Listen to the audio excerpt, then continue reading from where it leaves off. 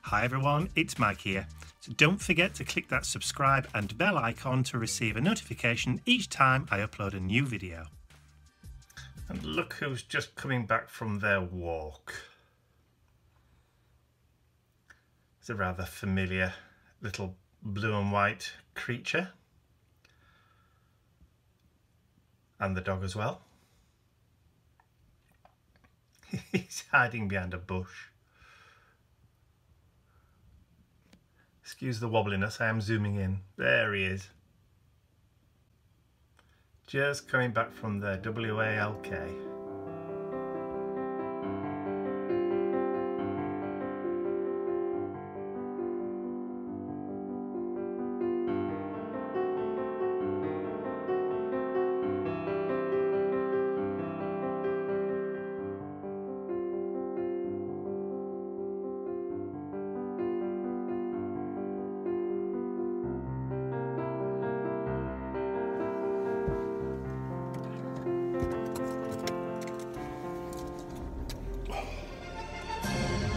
No! Too loud. It's like a greenhouse in this car. Um, it's Saturday, 30th of May. And um, yesterday,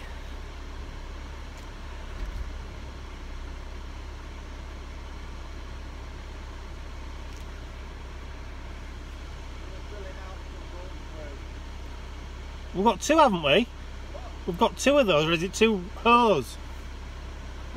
Haven't we got two? No, we've got two two uh, other things, but only one of these. So how come it's twisted?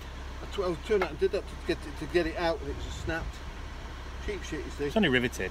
Yeah. See one wherever you go and get another one. I'm just going to uh, sharpen this edge up to make it easier.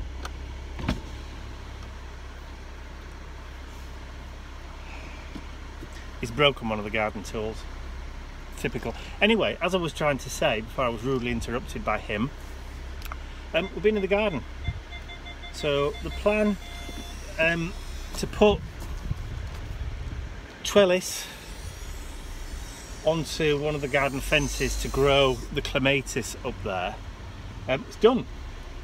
So finally, or we finally got the got the trellis up and in, which I will show you in a minute, or when we get back later uh, and done some more planting. So it's taking shape. So now as um, lockdown restrictions and quarantine's been eased a little bit, um, it makes it a bit easier to actually get hold of stuff. So because I did all our shopping, mum's and ours on Wednesday, we've actually started to run out of stuff, so that's where I'm heading now. I'm just going down to the supermarket for just to pick up a few bits and pieces, bread mostly, um, that kind of thing. So, so yeah, been a busy couple of days.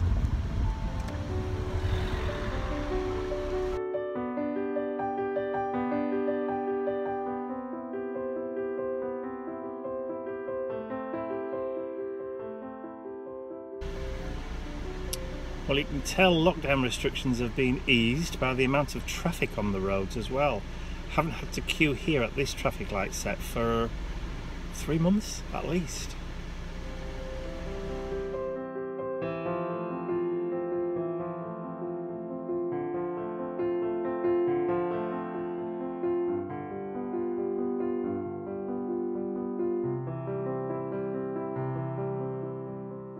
It's Sunday, 31st of May, and it's exactly a year to the day when we picked up the keys and moved in to the new house.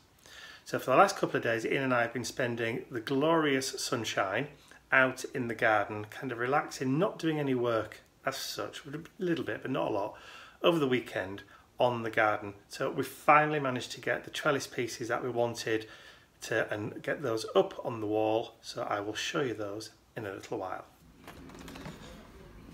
So, new additions to the garden. So we've carried on with the flower border all the way around that way. So it now comes all the way down. Now that's where our uh, garden shed stroke potting shed's going to go. As you can see we've got lights in too. But the biggest addition to the garden is that. So we've added some trellis up onto the fence for privacy between us and our neighbours. We're going to do the same thing on that panel there and that panel there. Some panels along the back here and some on that fence too, which will give us a bit of privacy between the neighbours. Not just for us, but for them too. But I've also planted uh, clematis and honeysuckle on both sides so that will grow up onto the trellis and give us a real nice display of colour hopefully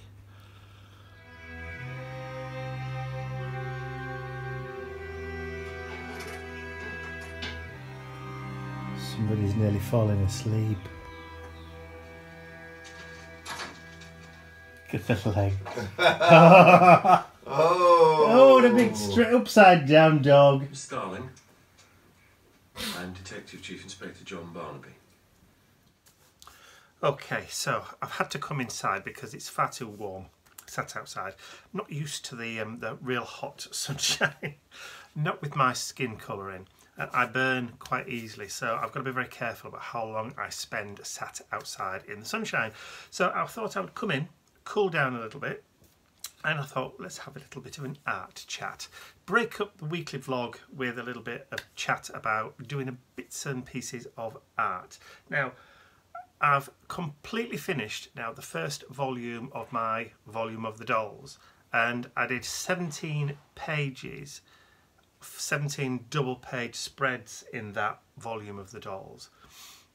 Uh, and I'll be doing a flip through of all the pages next week. By the time you see this it'll probably be Thursday or Saturday when I do the flip through for that so um, but I've done 17 pages in that.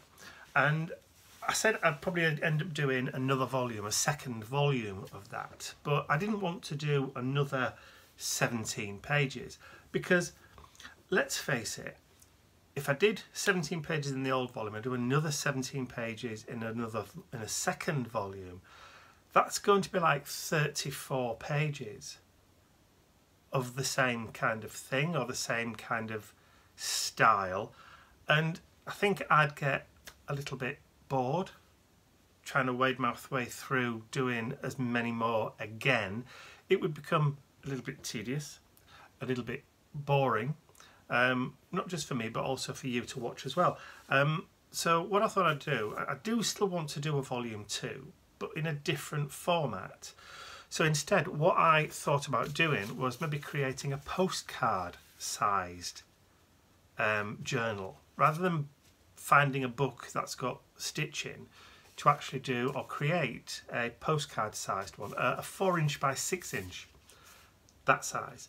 So I first of all cut quite a lot of mixed media cardstock with the idea of actually sticking those leaves in to create the, the leaves for the page. So each so stick each one to each to the back of the other and that would create a new page in which to work on. But then I suddenly realised after I'd created these that if I did that, then a double page spread would be 12 inches by 4 inches. No, not a good size to work with. So I kind of abandoned that. They'll get used for something else. I'll probably end up cutting those up for ATCs. But then I thought, well, hang on a minute. Rather than do it landscape, why don't I do it portrait? because at least two of those side by side would then give you an 8 by 6 to work on. And that's not a bad size. Not a bad size at all. An 8 by 6 would be, you know, would look quite nice in a journal. So that's exactly what I did. I got some grey grunge board. I cut some mixed media cardstock at um, 8 by 6 and I did enough to create 10 double page spreads. And then I covered the grunge board with some um, some papers from an old paper stash because sunflowers my favourite, that's what it looks like. But to make sure that I can get the book to lay flat, I've put a fabric spine on it. So I've actually wrapped the fabric around um, the paper block, the text block if you like, left a little bit of an expansion gap. So I've not glued the grey grunge board directly down. So that creates a nice kind of flexible spine that will allow me to be able to lay the book flat just like that and then just because I could I also added in some um, internal pages just to make it look nice so that's what I've done. So that is going to become um, volume two of my volume of the dolls. And I'll probably start that next week. And there's enough like I said to do 10 8 by 6 pages so I can get dolls on either side or whatever kind of layout you want to.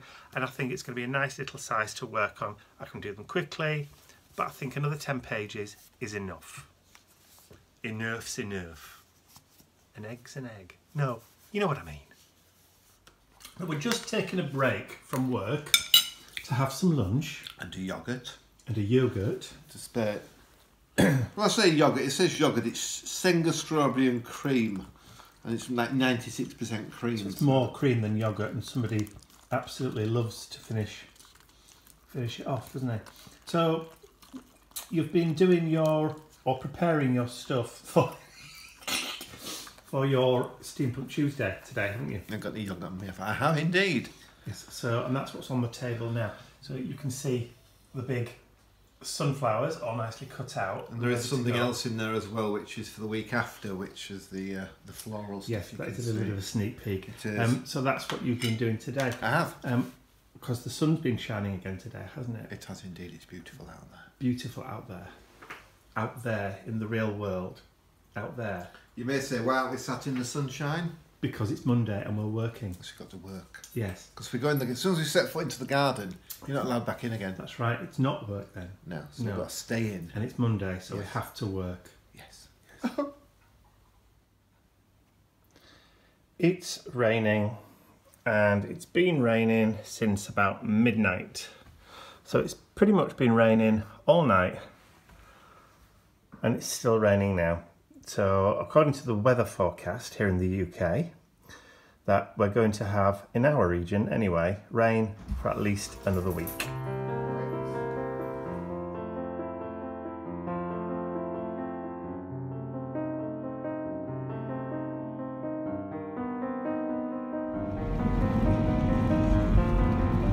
So Wednesday, shopping day. I phoned mum this morning. Bless her, she was still in bed when I rang. so dad had to get up and uh, go and get me the shopping list to read to me. So it's not a big shopping list today. Hopefully the queues aren't going to be so bad. So lots of people have gone back to work. Um, so hopefully the queues aren't going to be long. I'm not going to be stood out in the rain for that long. Waiting to gain access. Um, the traffic this morning isn't as bad as it has been as well, so that bodes well. So fingers crossed I should be done and back home again for lunch.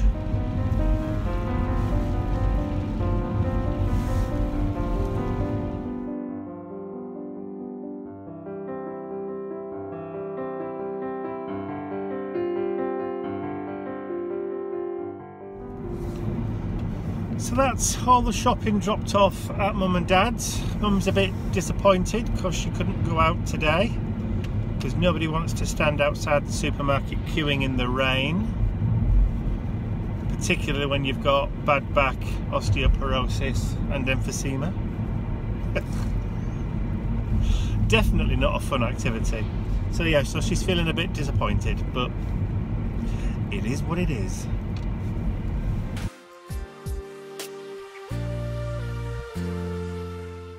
I'd like to say a huge thank you to all of my angels because without you, these videos would not be possible. Thank you.